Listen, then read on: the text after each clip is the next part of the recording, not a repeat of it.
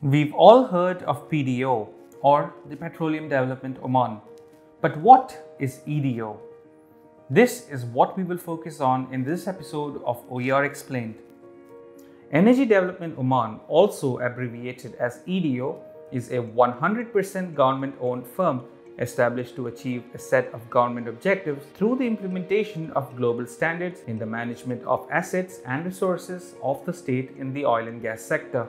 What this translates to is this EDO will represent the government's stake in Petroleum Development Oman and will own 100% of the natural gas resources and 60% of crude oil reserves in Block 6, which is currently licensed to PDO. EDO is also liable for funding of the operations in Block 6. But how is this different from PDO? Here is the difference.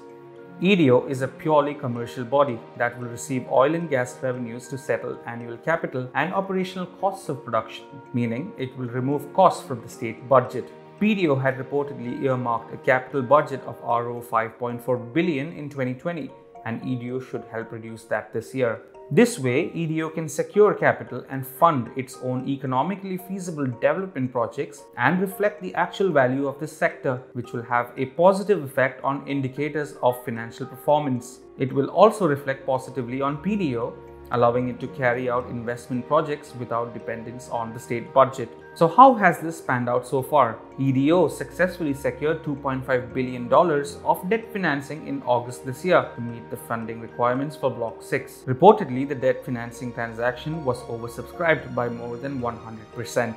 Haifa bin Jumal Khaifi is the CEO of EDO. Upon the announcement of EDO, she said, The establishment of EDO is an extremely significant milestone for the Sultanate of Oman. EDO will play a central role in the Sultanate's energy transition as well as economic diversification. As per EDO's recently revealed brand identity, we also learned that it will focus on renewable energy, alternative energy sources, and non hydrocarbon activities.